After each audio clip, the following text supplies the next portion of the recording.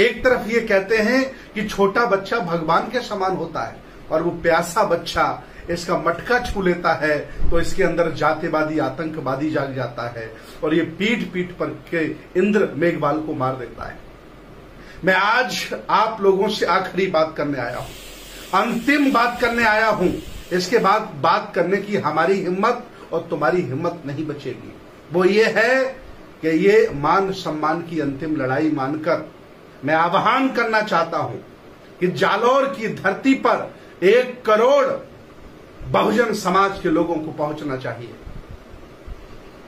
बाबा साहब के नाम पर, बुद्ध के नाम पर, तमाम संतों गुरुओं के नाम पर आपने लाखों संगठन बना रखे हैं।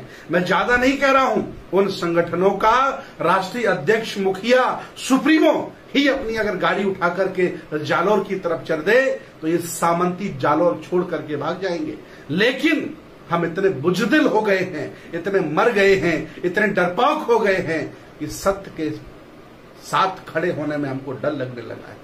याद रखना, ये संविधान देश में लागू है, तब तुम इतने बुजदिल हो। अगर हिंदू राष्ट्र हो गया तो तुम्हारी क्या दशा होगी, ये आपकी पीढ़ियाँ आने वाली बताएँगी। इसलिए आज मैं बौद्ध भिक्षु, देश भारत के सभी समता मूलक समाज की स्थापना करने वाले संतों गुरुओं को अपना आदर्श मानने वाले बौद्ध भिक्षुओं से, कबीर पंथ के लोगों से, रविदासियों से अंबेडकर वादियों से, जगदेव प्रसाद को मानने वाले लोगों से, राम स्वरूप वर्मा को मानने वाले लोगों से, तमाम ललय सिंह यादव को मानने वाले लोगों से आह्वान करता हूँ कि आप अपनी कार उठाएँ, ट्रेन बुक कराएँ, हवाई जहाज़ से आए, जालौर पहुँचे।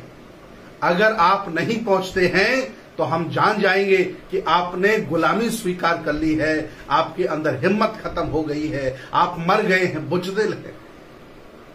जालोर जिला गुजरात के सटीक में है। मैं गुजरात के सभी ज़िंदा लोगों से अपील करना चाहता हूँ कि लाखों की संख्या में जालौर पहुंचिए। हरियाणा के लाखों लोगों से मैं अपील करना चाहता हूँ कि लाखों की संख्या में जालौर पहुंचिए। राजस्थान की सरकार को हिला दीजिए, इस गहलात, गहलोत की सरकार को हिला दीजिए। मैं मैं मध्य प्रदेश के लाखों ज़िंदा लोगों से आह्वान करना चाहता हूँ कि आप भी जालौर पहुंचिए।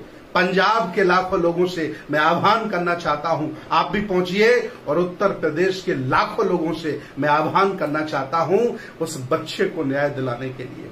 जातिवाद के खिलाफ लड़ने के लिए, अरे, कभी मूछों की वजह से तुम्हें मार डाला, आज पानी की वजह से तुम्हें मार डाला, आज उनका नंबर लगा है, कल तुम्हारा नंबर भी लगेगा, याद रखना।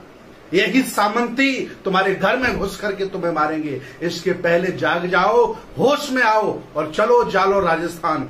मैं स्वयं 18 तारीख को जालोर पहुँच रहा हूँ और जब तक बच्चे को न्याय नहीं मिल जाता। जब तक बच्चे को न्याय नहीं मिल जाता, मैं जालोर की धरती को नहीं छोड़ूँगा। ये मेरा आह्वान है। तमाम मेरे योद्धा जालोर की धरती पर जा रहे हैं। अगर उन सामंतियों ने हमारे उत्तर प्रदेश के, पंजाब के, हरियाणा के, गुजरात के लड़ने वाले योद्धाओं को अकेला घेर लिया तो उनकी हत्या वो कर सकते हैं। सरकारें पुलिस के माध्यम से उनको घिरवा करके हत्याएँ करा सकती है, लाठी चलवा सकती है। इसलिए कम से कम एक करोड़ की संख्या में जालौर पहुंचिए, आर पार की लड़ाई अब लड़नी होगी। आज लड़ लोगे तो सस्ते में निपट जाओगे, नहीं तो लाखों लोगों को जान गंवानी पड़ेगी, तब भी आप मुक्त नहीं हो पाओगे गुलामी से। याद रखना, संविधान है भारत में, डरने की ज़रूरत नहीं है, इन सामंतियों को सबक सिखाना है, इनके अंदर जो कीड़ा जातिवाद का बैठा है, उसको मिटाना है। बहुत लोग भाषण देते हैं। कि मैं बाबा साहब के सपनों का भारत बनाऊँगा। आओ, दम है, जिगरा है तो चलते हैं जालौन और इन जातिवादी, आतंकवादियों से लड़ने का काम करते हैं। मैं बहुत बहुत धन्यवाद देता हूँ उन सभी लड़ने वाले रणबांकुरों को, जिन्होंने स्वयं चेतना जगाकर वहाँ पहुँचने का निर्णय लिया है। मैं भी पहुँच रहा हूँ। आओ, हम सब मिलकर धरना पर बैठेंगे, भूख हड़ताल करेंगे। और चाहे कुछ भी हो जाए, उसे झेलने की ज़िम्मेदारी लेते हैं और कष्ट उठाएँगे। लेकिन इंद्र मेघवाल को न्याय दिलाएँगे। ये छोटा बच्चा है। नौ साल का बच्चा है। आपकी आँखों में आँसू नहीं आए, आपको कष्ट नहीं हुआ, आपके बच्चे के साथ ऐसा होता तो क्या करते? खून जो तुम्हारा ठंडा हो गया है, उसे जगाओ। तुम कोई छोटे लोग नहीं हो। इस देश भारत के पुराने राजा महाराजा हो। तुम्हारे पुरखों ने ये भारत बनाया है। तुम्हारे पुरखों ने भारत को शीर्ष पर पहुँचाया विश्व गुरु का दर्जा दिलाया है। तुम उनकी संतान हो। तुम कोई छोटे लोग नहीं हो, अछूत लोग नहीं हो। ये जालिम लोग तुम्हें इस तरह से मारेंगे। बर्दाश्त तुम कब तक करते रहोगे? लानत है मुझे तुम पर। इतने संगठन तुमने बना रखे हैं कि संगठन का मुखिया भी अगर पहुँच जाए तो करोड़ों लोग जालौर में इकट्ठे हो सकते आओ, मेरे अंदर गुस्सा है, क्रोध है, चिंता है, दुख है, कष्ट है, उस परिवार को मारा गया। कोई कहने वाला नहीं है। आओ, अगर आज आपने अपने घर से कदम नहीं निकाला तो मैं ये जान जाऊँगा कि आपने गुलामी स्वीकार कर ली है और अब आपको आज़ाद होने की ज़रूरत नहीं है। चलो, हम जालौर चलते हैं। इंद्र कुमार मेघवाल को न्याय दिलाएँगे और जब तक उसे न्याय नहीं मिल जाता, हम जालौर में ही डेरा डालेंगे। करोड़ों लोग पहुंचिए वहाँ। अरे, सौ करोड़ लोग हो तुम भाई भारत में, सौ करोड़। और एक करोड़ लोग जालौर नहीं जा पा रहे इससे ज़्यादा बुजदली और क्या हो सकती है? आओ, हम जालौर चलते हैं। सरकार से लड़ेंगे, सामंतियों से लड़ेंगे। ये अंतिम लड़ाई होगी।